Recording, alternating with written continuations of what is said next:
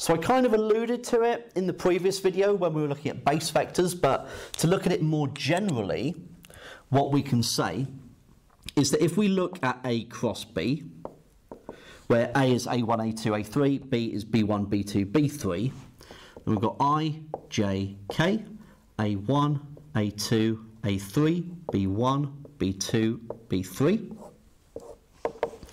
And we've then got I times A2, B3, take away A3, B2, take away J times A1, B3, B3, take away A3, B1,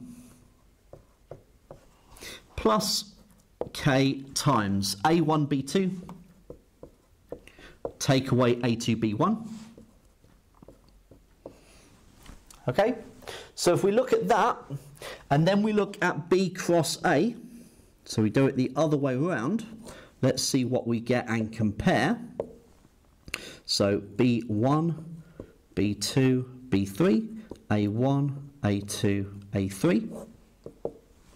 So we get I times uh, B2, A3, so A3, B2, take away A2, B3,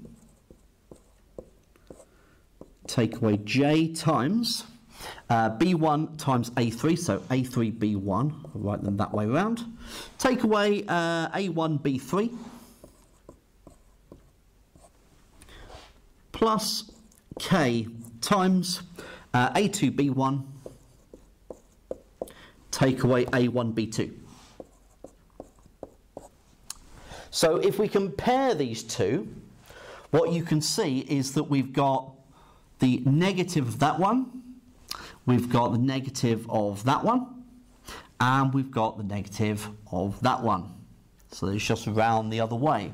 So the consequence is that we can see that A cross B is equal to minus B cross A. So if you reverse um, uh, the direction of your vector product, so if you do um, B cross A instead of A cross B, it's the negative of the other one.